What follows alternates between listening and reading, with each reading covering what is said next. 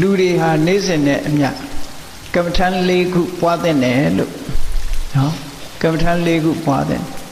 ဘာပွားတဲ့လဲဆိုရင်ကိုယ့်ရဲ့တရားစွမ်းအားတွေထက်မြက်ဖို့အတွက်ဘုရားနုတ္တိကိုအချိန်ပိုင်းနဲ့ပွားပါအများတရားတွေပေါ်မှာမေတ္တာထားနိုင်အောင်နော်မေတ္တာအချင်းချင်းမေတ္တာစိတ်တွေသက်ဝင်အောင်မေတ္တာပွားပါ လူတူတယောက်အပေါ်မှာတွေ့တာမှုတွေလျှော့ချနိုင်အောင်အတုပကမ္မထာကိုပွားပါနောက်တစ်ခါကိုယ့်ရဲ့သေဆုံးမှုအပေါ်မှာကြောက်ရွံ့မှုဆိုတာမဖြစ်ရအောင်မရဏတတိဘာဝနာပွားပါလို့ဒီကမ္မထာလေးခုဗုဒ္ဓနုတ္တိမေတ္တာအတုပမရဏတတိဆိုရင်ဒီကမ္မထာလေးခုဟာ ဒီစတုရရက်ခလို့ဆိုဖိုးခါရိယမောကိုယ့်အတွက်အကောင်းဆုံးအဆောင်လျှောက်ပဲလို့လူတွေကအဆောင်လျှောက်ဆိုရင်ပြင်မဲ့ကဟာကိုယ်ဆောင်မှာစောင့်နေထင်းနေတာမဟုတ်ဘူးကိုယ်တဏ္ဍာမှာကောင်းကျိုးချမ်းသာတွေဖြစ်ဖို့အတွက်ကိုယ့်အတွက်အရေးကြီးတဲ့အဆောင်လုံးမှုပဲလို့ဒီလိုအဆောင်၄မျိုးလို့ဒီလိုဆိုလိုတာနော်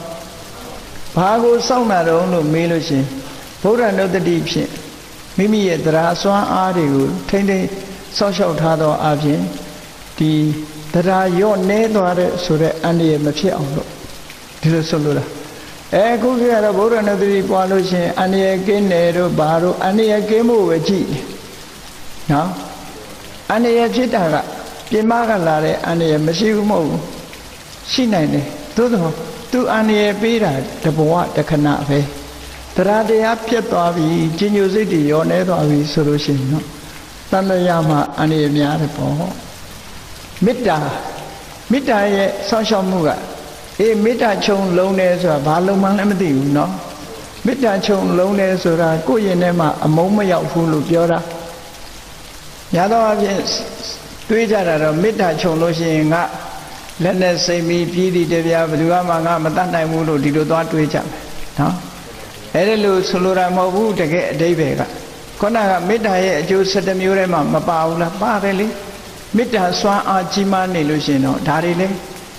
ဟိုလုံညုံနေဒါတွေကအပယိကလုံညုံမှုတွေပဲတကယ်အရေးကြီးတဲ့လုံညုံမှုကဘာတော့ကိုယ့်ရင်တဲ့နှလုံးထဲမှာအမုန်းတရားမရောက်ဖို့ကအရေးကြီးတယ်ဒေါသကိုကာကွယ်တာလို့ဒီလိုပြောအောင်အတုပကဘာကိုကာကွယ်တာတော့ရာဂကိုကာကွယ်တာနော်မရဏတတိကဘာကိုကာကွယ်တာတော့ဆိုရင် တန်ဝေကမဖြစ်ဘဲနဲ့မေ့မျောနေတာတန်တရားထဲမှာပျော်ပြီးတော့မကောင်းတာတွေလုံးမိဆိုတဲ့အကုသိုလ်တွေကိုကာကွယ်တာလို့ဒါကြောင့်မို့စတုရရက်ခဖုခါရိယံဆိုတာစောင့်ရှောက်မှု၄မျိုးဆိုတာမကောင်းတဲ့စိတ်တွေမဝင်ရအောင်စောင့်ရှောက်တာလို့အဓိကအဲ့ဒါကျန်တာတွေကအပေါ်ယံပယိကစောင့်ရှောက်မှုလို့ပြောရမယ်ဒီလိုဆိုတာနော်